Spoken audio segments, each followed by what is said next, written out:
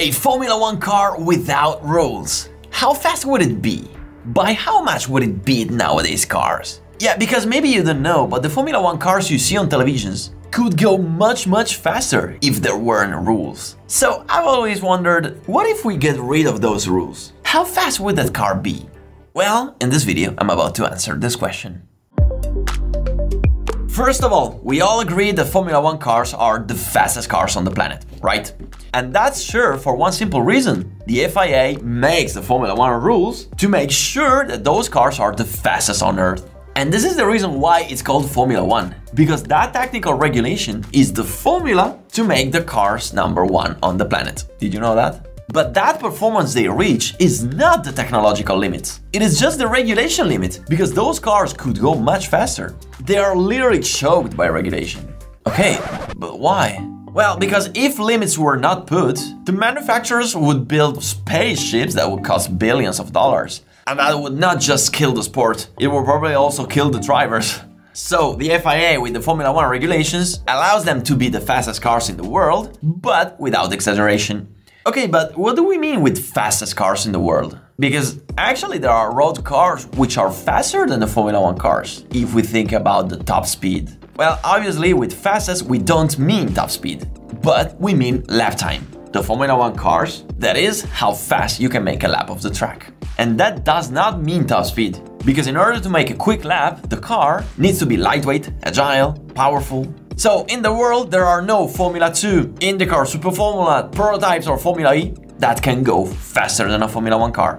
So what happens if we take the Formula 1 cars and remove all the limits? Well, I don't know if you know that, but somebody actually did that on the Spa-Francorchamps circuit. But actually they didn't do it on a Formula 1 car. So, April 2018, at the end of the previous year, Porsche withdrew from the World Endurance Championship. So, to celebrate the success of the LMP1 car, the Porsche 919, they decided to organize a big promotional tour. And what did they do?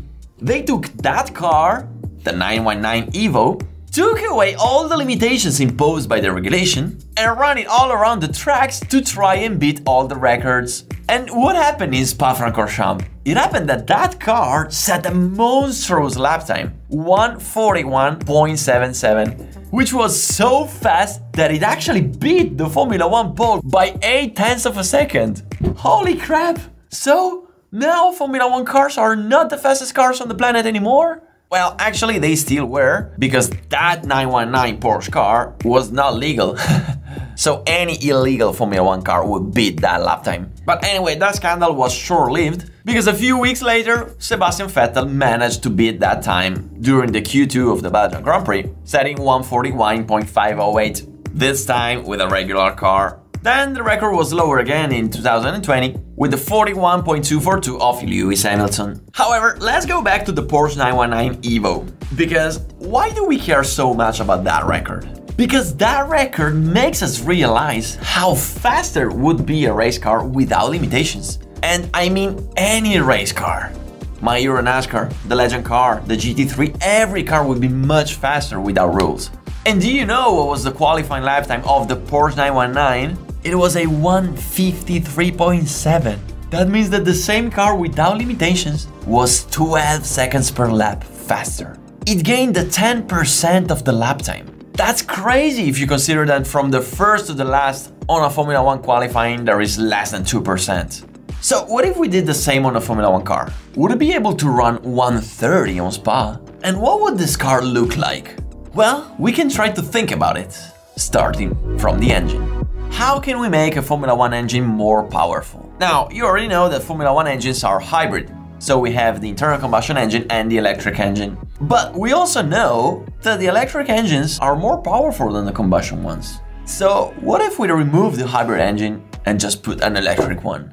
Yeah, that would sound really bad, and luckily that wouldn't work.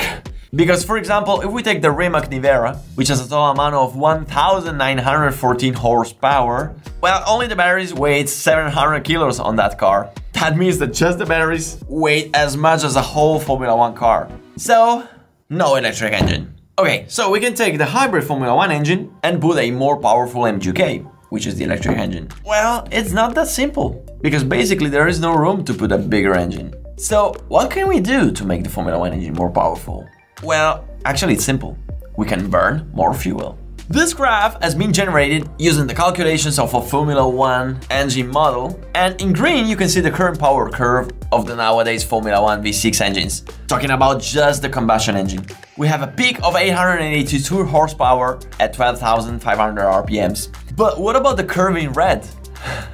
that curve is obtained without the consumption limits imposed by the regulations. Yeah, because nowadays regulations impose a very lean carburation with super little gasoline. Instead, we want to use the typical mixtures of a Formula 1 from 2000 era. They were nuclear bombs.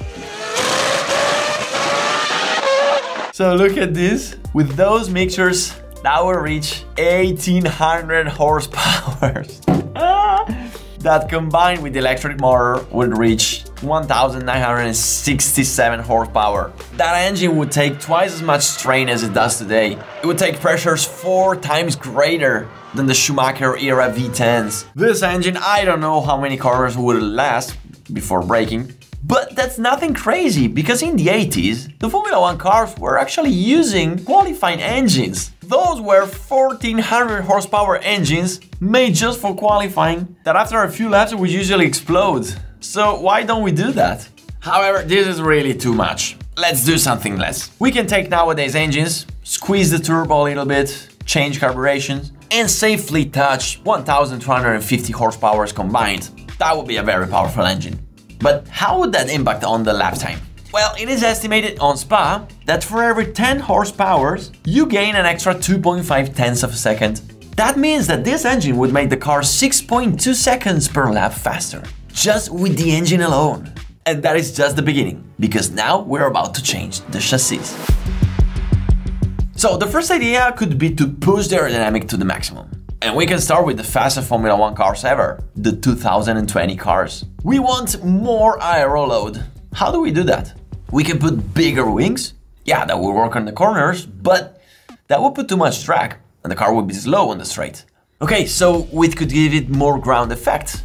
Yeah, but can you imagine the porpoising? I mean, the drivers would vomit in the helmet. So we need a different solution. We need something that glues the car to the ground, not only in fast corners, but also in the slow corners. But does such a thing exist? Well, yes. And you know what? Some crazy guy invented it in 1978 with the Brabham BT46B.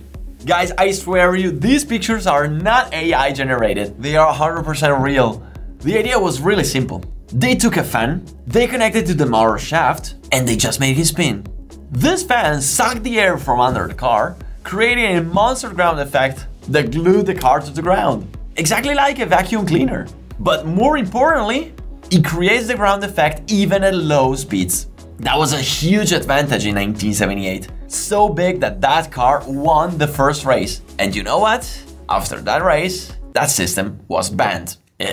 Yeah, it was really too much. However, what we wanna know is that this system exists and works. And that car was not the only one, because there was also the McMurtry Spéirling, which is that sort of Batmobile car, that set the record for Goodwood Hill climbing in 2022. Very similar basic concept. Okay, what else can we do? Well, we can change tires.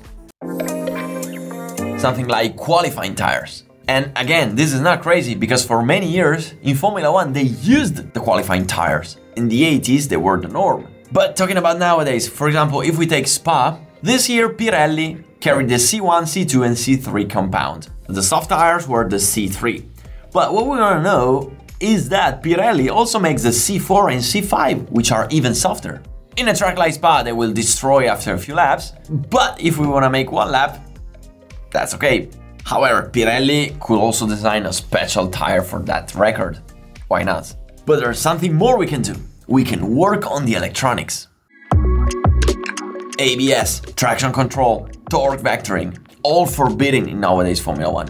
They should be calibrated properly, but you know, there are the best engineers in the world that can do it. But then we can do another crazy thing the active suspensions. And all these things I'm saying are not sci-fi, they actually really existed in Formula 1. The Williams FW14B, the queen of cars with active suspensions. To be more precise, the FW15 was the evolution that raced in 1993 and was even better. But what's the advantage of active suspensions? Well, the advantage is that although the car is moving for braking, cornering, accelerating, the suspensions always keep the car in the perfect setup, making the aerodynamics work perfectly.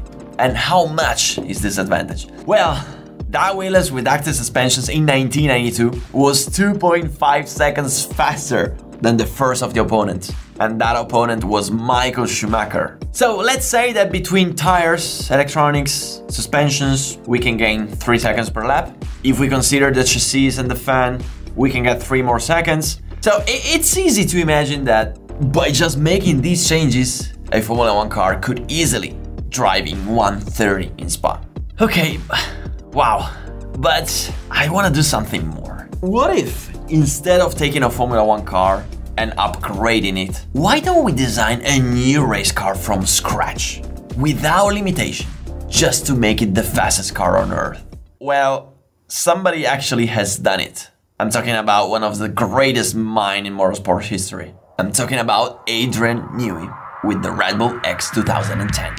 This car is the highest performing car in the world, the fastest ever imagined. Too bad it currently exists only as a dummy in a museum. Yeah, and it can only be driven on a simulator. They never built it. It was designed by Adrian Newey for Gran Turismo 5, and the first virtual shakedown was done by Sebastian Vettel. And what does this car look like? Engine 3000 twin turbo V6 with 1479 horsepower. Gearbox 7 speed Formula 1 like gearbox, nothing special. Suspension, push rod front and rear, fully active, like the 1992 Williams. Weight, 545 kilograms. Come on. 250 kilos less than nowadays Formula 1. it weighs like my legend car. but listen to this, the good stuff is yet to come. Aerodynamics. All, but really all, the Red Bull X 2010 car is designed to be an aerodynamic masterpiece. The car is designed with only one goal, to pierce the air and cling to the asphalt. We have aero-style closed cockpit, covered wheels and fairings, all details that serve to reduce the drag. Okay, but we want the car to make the corner, so where is the downforce? We use a double diffuser for high speeds and a fan connected to the engine to create downforce at low speeds. Exactly like the Brabham, the same. Wow, but how fast would it be compared to a Formula 1 car? Well, we cannot drive it in the real world, but we can drive it on the simulator. Okay, first of all, we'll drive a Formula 1. I am with Assetto Corsa. This is the Ferrari SF70H. it's like two years I don't drive a Formula 1 on the simulator. well, that's fast. Guys, I'm used to the GT3 cars. and whoa. Oh my god. Okay. okay, so I don't want to spend two months trying to do the best possible lap, especially with that car where I have to learn how to manage the... So I searched on YouTube and I saw that this guy did 141.7, which makes sense. Now, let's pick up the Red Bull 2020. But be careful, with this mod there are two versions. 600 horsepower, that's not what we want, and 1500 horsepower. Oh, look at that. That's insane. Look at the cockpit, how it closes. Whoa! Oh my god! Oh my god! That's too fast! 2.7 Gs just for the acceleration! Whoa! 400 kilometers an hour, the Rouge! Flat out!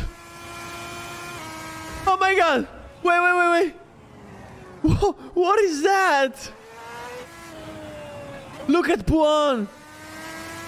No way! No way!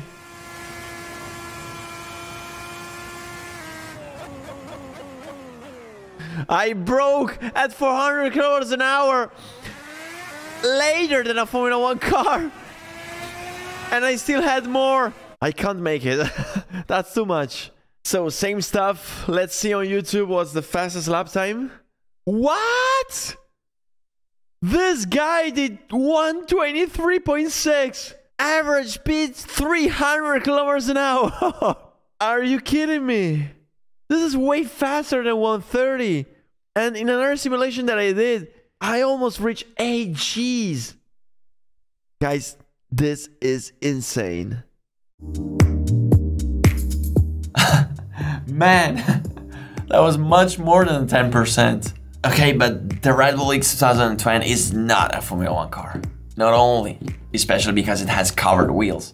And the problem is that that car is estimated to hit 8 G of lateral acceleration. Drivers might not survive driving. So we reach the point where the limits are not anymore technological, they are human. So maybe we are exaggerating. Maybe that's too much. So the best thing would be to take an existing Formula One car and just unlock it, like Porsche did with the 919 Evo. However, to finish this video, I invite you to a reflection. Think about how fast Formula One cars are nowadays.